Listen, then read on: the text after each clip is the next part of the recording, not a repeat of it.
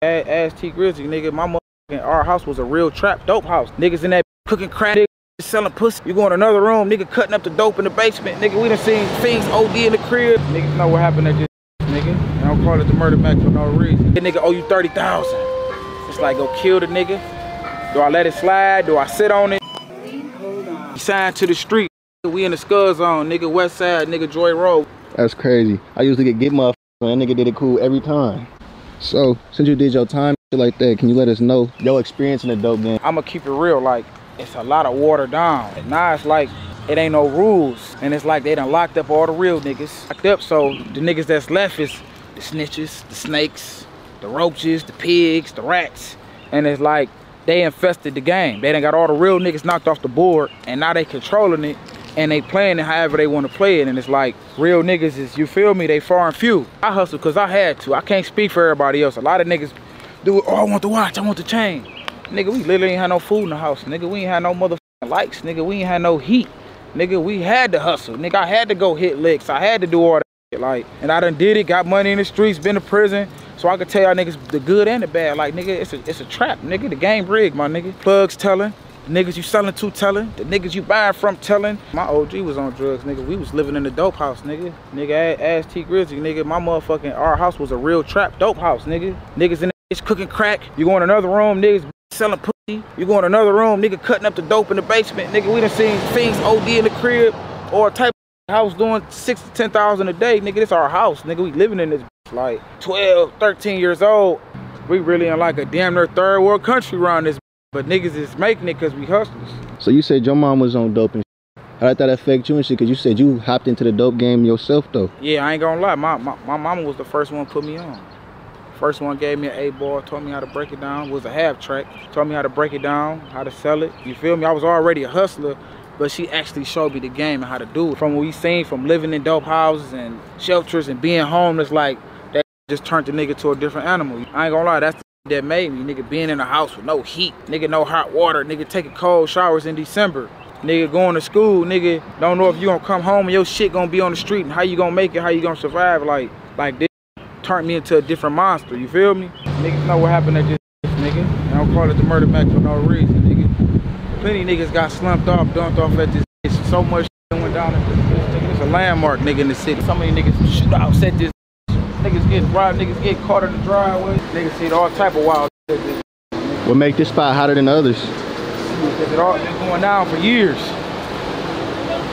For years at this bitch. Every time niggas still coming to this fuck with McDonald's, do their thing. The Good old fashioned Arizona. With, with the scene getting it. Brown niggas just on a whole different type of time. A lot of niggas gone right now for that shit too.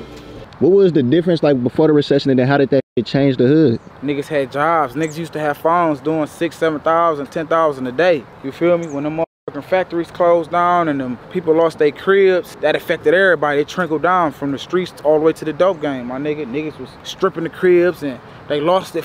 We gonna take everything out this and it, you feel me? You see what's left. The coldest of hustlers all in one spot. The coldest of killers, the coldest of everything. And you gotta learn how to maneuver through this you feel me? And that turn niggas to different animals. You come up with a date, nigga, or you come up with an amount. I gotta have me a hundred racks. I got two years to get it. Whatever come first, the two years at a hundred racks, nigga, and, and invest in something, do something different. It was like, the, I ain't gonna lie, the hardest was the first 10. That first 10,000 was just like the hardest thing because you gotta understand managing the money. You gotta understand how to stack the money, keep flipping, be consistent, manage the bills. And it was like, once I got past that first 10 and I understood, nigga, there's some game for y'all niggas, multiple streams of income. So I ain't just gonna sell this. I'm gonna sell this, this, and that. Now I got this, that, and that. And then you put niggas in position and make money while you ain't there. And that's when I took off. You This being Joy Road, uh, you know, the whole world heard that Tee Grizzley song, y'all from the same hood. and. How did that hit the city? Man, hit the city and tore this bitch up. This, this shit I ain't never seen before in my life. What's so crazy was it wasn't even no club song and he turned that bitch into a club banger. What's a little funny little story you got from us being this motherfucker right here on the Murder Mac, just hanging out, whatever? I can't even tell you nothing funny at this, but I mean, I, nigga, we done niggas done shut this whole motherfucker down, nigga. 50 man brawl out around this, you feel me?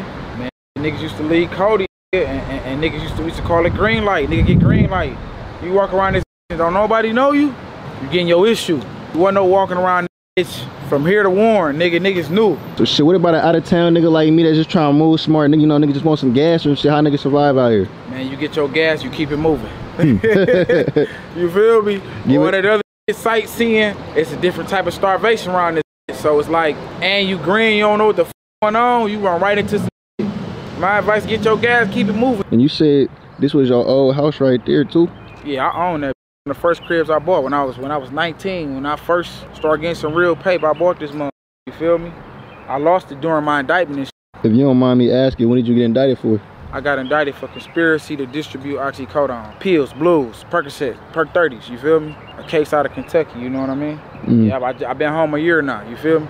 Yeah, How long were you down for? yeah, 48 months in federal prison. I bought another one a few blocks over, and I and I'm telling you, nigga, I go out of town for a week. I come back, niggas broke in and stole the stove, stole the refrigerator. And then every other week, they still in the dough, they still in this, they still in the copper. It's like you got to be in these when you buying them in the hood, cause niggas gonna take as soon as you put it in. Like I told you when I was 19, right? Before I bought a Rolly, before I bought a chain, before I bought my first foreign car, nigga, I bought two cribs, my nigga. Before I bought all that boo, I bought the right shit. But shit, with the fast money also come consequences and dangers with this. Yeah, hell yeah. Like I ain't gonna lie to you, like in the game, it's like the same nigga that you could run up 100,000, 500,000, you feel me? It'll be the same nigga that'll slam you out. It be a lot of slick competing. It be a lot of dick handling niggas be, oh, this nigga got the bag. We all gonna gravitate to this nigga, but we really don't like this nigga. And they be just like, you gotta deal with these snake, sketchy ass niggas because they in the same enterprise business you in. It's like my cousin, Free Chino, Free Chingy. 20 years, came home from just doing 11 in the state. Being 100 with niggas, ran up damn near half a ticket, 600,000, nigga only home 18 months, nigga. And the same niggas he was dealing with lined him up, swapped him out, get out of jail free card, my nigga. Bro just did 11. He ain't seen his kids 11 years. Just came home and got tricked off the streets. You feel me? And it's like, those are things, even the losses. So say a nigga owe you 30,000. It's like, go kill the nigga. Do I let it slide? Do I sit on it? I've been in the streets my whole life, so I can see a play getting put down a mile away. I can feel it, the vibration, the, the energy. I know when something ain't right. I know when a nigga ain't right. You know what I mean? But that's something you only can learn from being in the streets your whole life, feel me? And when you a good nigga in the streets and your name is, is credible and solid, good niggas is gonna gravitate to you. Good plugs, good situations. So all that run off on a plug, lame ass shit trash. Niggas run off with the plug, got bullets in their head right now, you feel me? Or got bullets in their family head because of the bullshit dumb shit they did, my nigga. Standing on business, being a hundred, nigga, that lasts more than all this shit, cause guess what? When the dope game gone and you wanna transition, you wanna pivot, that same nigga you was getting money with might own restaurants, own buildings, might got opportunity and say, hey, bro, we doing this in real estate. Hustle, come on in. We gonna put this, we gonna put you in the loop. And just being a good nigga, like all that slime ball shit, that's for the birds. Like before I got indicted, nigga, Unc OD, nigga, this before niggas was even hit with the Fetty and all that shit. Now like Unc, nigga, literally was gone, nigga. We had to bring this nigga back, put him in the shower, ice, all type of nigga. So take us back to that day. We coming from OT, we make a stop. Unc don't do his thing. I don't judge nobody. We touched down that, that's where that heavy at, and he took a little too much. And nigga, he was in the crib talking. Next thing you know, boom, he fall out. He gone. Nigga eyes back his head. We ain't gonna go to the uh the hospital police. So we shoot to my uncle crib. We throw him in the shower. We go get ice, ice cold water. He in and out. We smacking him, keeping him up, just so he don't go out. You feel me? He was in that bitch two hours trying to get there. I'm soaking wet trying to bring this nigga back. And I'm kind of sick because I'm like, damn, I don't want my uncle to go out like this. Brought him back finally.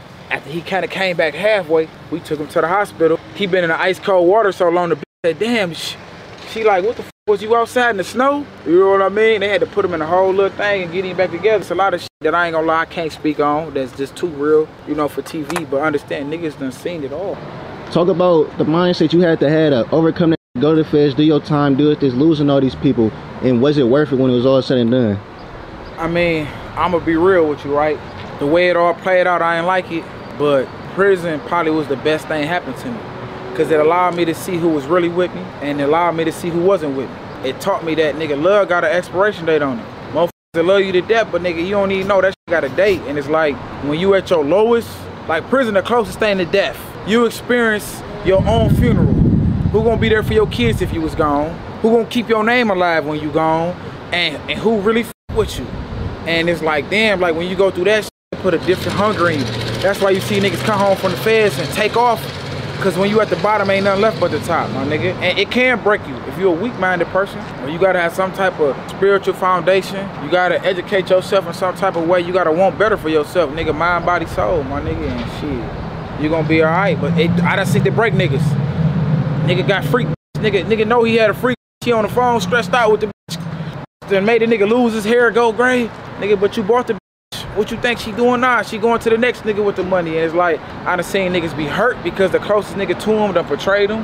And niggas done lost everything. Like, it can break you. But you gotta find that thing and you just gonna, they don't give you the will to survive and to overcome that because it only make you stronger.